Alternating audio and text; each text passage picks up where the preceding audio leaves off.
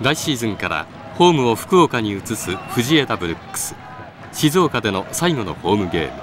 対するは2年連続 J リーグチャンピオンのベルディ川崎。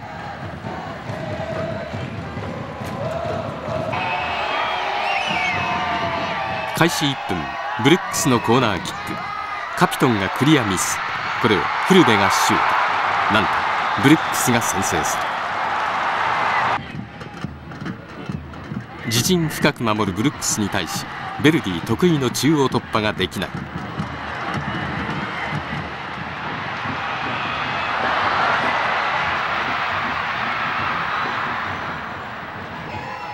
さらにブルックスコーナーキックからのチャンス。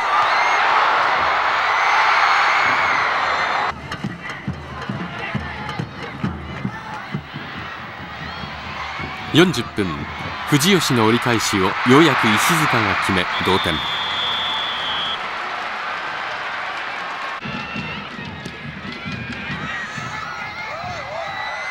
後半14分キーパーのミスから津波絶妙なループシュート。ベルディついに逆転。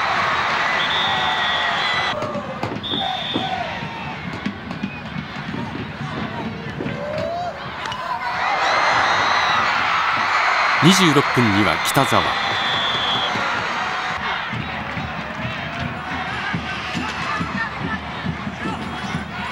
そして41分には長谷部が倒され PK これをビスマルクが決め4対1